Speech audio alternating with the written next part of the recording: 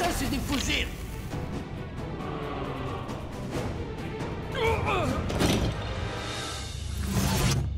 De volta à Terra. Luthor aguarda.